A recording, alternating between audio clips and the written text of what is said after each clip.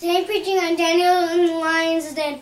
There's some bad men who worked for the king, and they didn't like Daniel because he loved God and because he interpreted the king's dream, and nobody else could. And he got many good things from the king. And then they made the king do this law that everybody should pray to him or else they should suffer the lion's den. And they caught Daniel praying. And then he had to go in the lion's den. And the king fasted all night. He didn't get any sleep.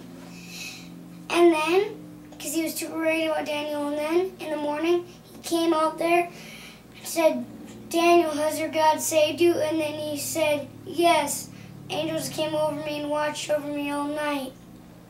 All night long. Okay, peace.